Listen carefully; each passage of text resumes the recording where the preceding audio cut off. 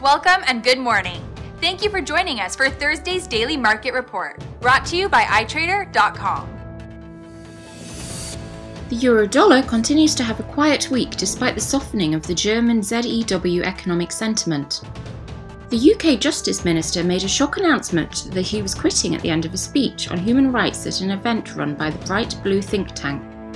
BMW said vehicle sales fell 2.1% in May, weighed down by China tariffs and the launch of a new model.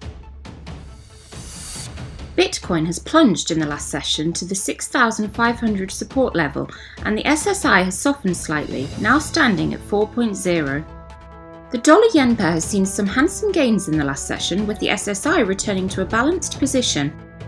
The price of crude oil has gained slight momentum in the last session.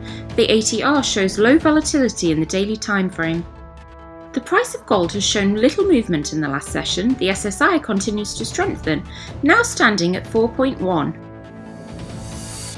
The Eurozone's ECB monetary policy will be published at 12:30 p.m. GMT.